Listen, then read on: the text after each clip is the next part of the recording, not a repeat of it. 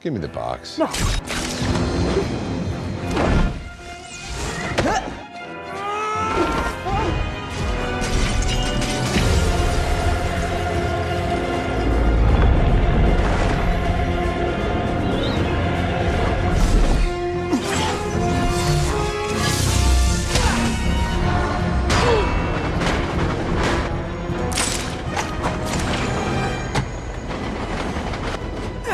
What is this place? The mirror dimension, where I'm in control.